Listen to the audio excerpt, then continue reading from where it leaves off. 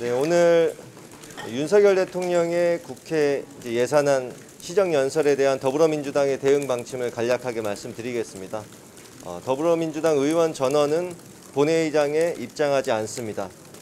윤석열 대통령이 입장하기 전까 도착하기 전까지 이 국회 이 로텐도어 앞 계단에서 어, 규탄 시위를 이어가고 윤석열 대통령이 국회에 도착해서 입장하는 당시에는 어, 엄중하고 절제된 침묵 시위로 어, 대응할 방침입니다.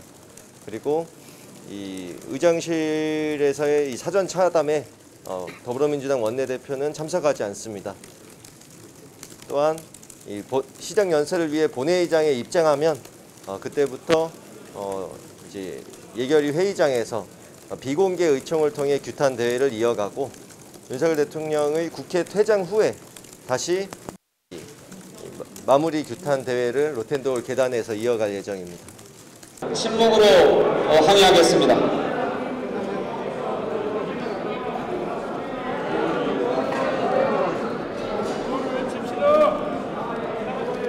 다시 한번 외쳐보겠습니다. 다시 한번 외쳐보겠습니다.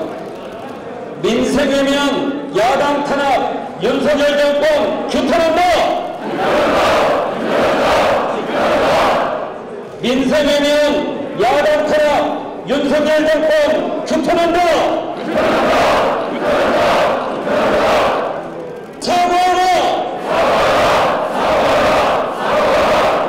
국회부의 막말 역설 대통령은 사과하라!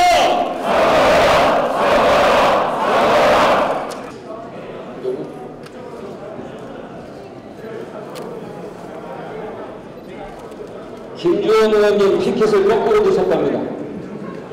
김주영 의원.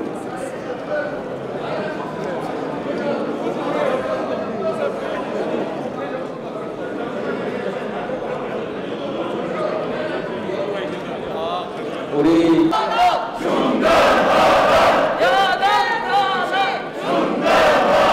함께 외쳐보겠습니다.